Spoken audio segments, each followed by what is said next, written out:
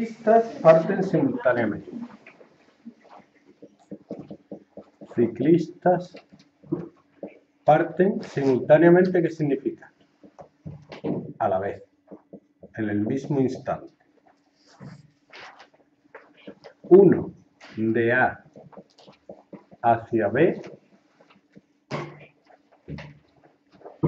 a 24 kilómetros hora. Otra de B hacia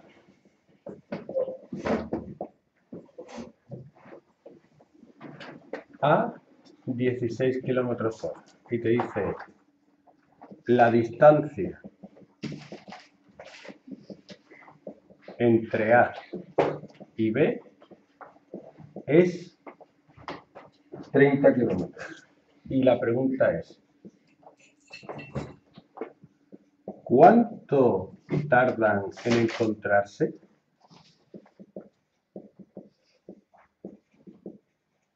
Vamos. Hacer un dibujito. A, B.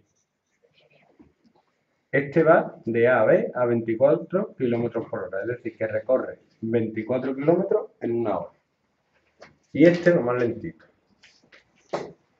16 kilómetros por hora. Vamos a ver.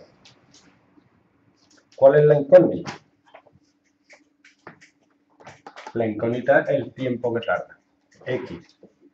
Si este va a 24 kilómetros por hora, en X horas, ¿cuánto recorrerá?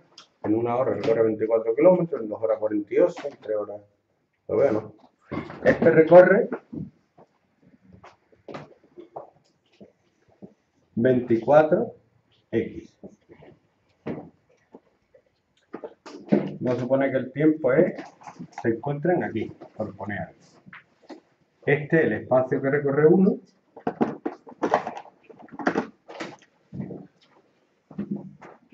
Y este es el espacio que recorre otro. Pues el espacio que recorre este, que es 24x, más el espacio que recorre este, que es 16x, ¿cuánto tiene que ser?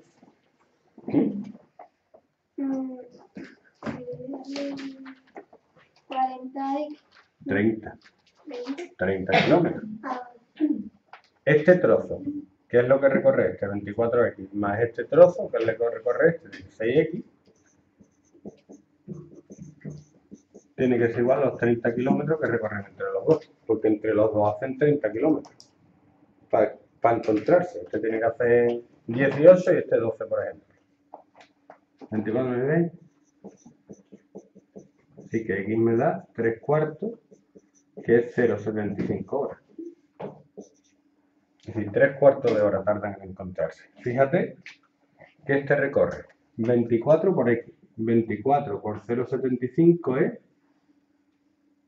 18. Y este recorre 16 por 0,75, que es 12. Fíjate que los 18 que recorre uno más los 12 que recorre otro son 30 metros. Pues bueno, esto es una forma de hacerlo, hay una forma de hacerlo. Para mí esta me parece muy lógica porque sabes que entre los dos tienen que recorrer 30. Calcula el espacio que recorre uno y el espacio que recorre otro. Ese es divertido.